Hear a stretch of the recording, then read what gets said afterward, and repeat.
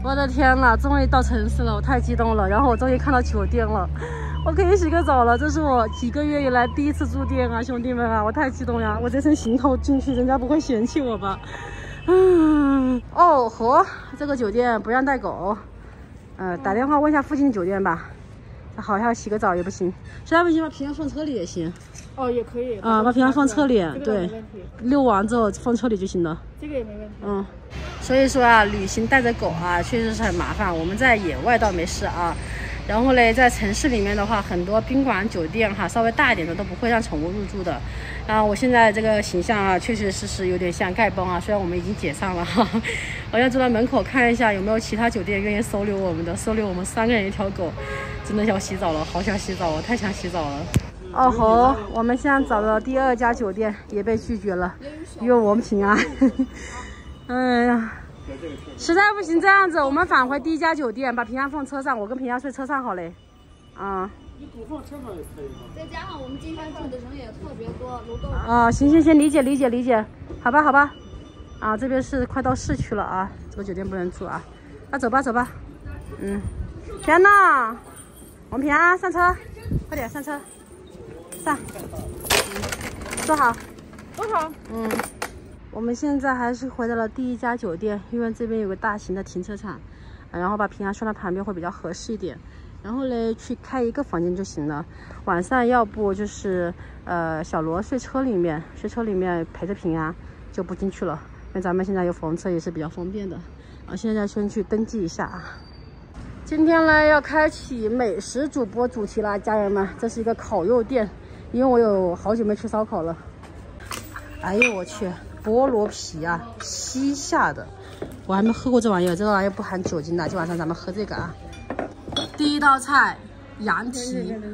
我们前些天在路上买的全羊，小罗跟老刘把这个毛全部烧了，包括羊头啊。结果后来没人愿意带，就扔在了幺零九上面了。没想到啊，到了这个宁夏的第一餐哈，就吃了这个没吃上的羊蹄子。早知道我把它带着了。嗯，这个还挺辣的，有点像那种，呃，卤鸭脖子的那种味道，那个料味，但是它有点膻。哎，这个羊蹄怎么有点膻啊？我们前段时间在路上买的羊都不膻，因为蹄子本来就膻的缘故吗？是因为我们那个时候好像是那个吧，他们饭店一般都不新鲜吧？应该，我猜的啊。因为那个好牛。哇塞！然后嘞，这是红牛烤肉，啊，好香啊！整一个，整一个，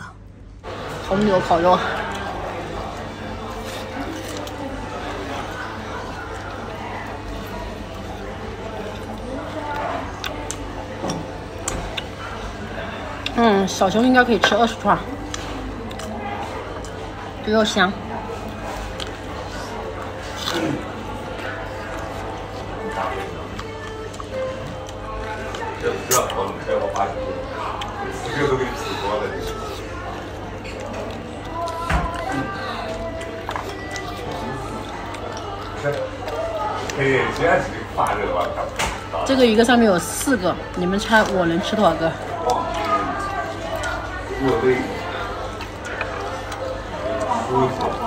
第四道菜，生蚝。这个是宁夏的特产炒土鸡，这也是宁夏的一个特产哈，烫面饼，然后这个面饼里面夹这个青椒，嗯，香得很。看一下，吃的满嘴流油啊！吃饱喝足，回到了酒店，准备去洗个澡。好久没有洗澡了，好家伙，我今天终于洗澡了，搓了好久的灰哦。然后呢，我发现一个问题啊，兄弟们，我徒步是为了什么？我徒步难道不是为了减肥吗？那我现在这衣服怎么变小了呀？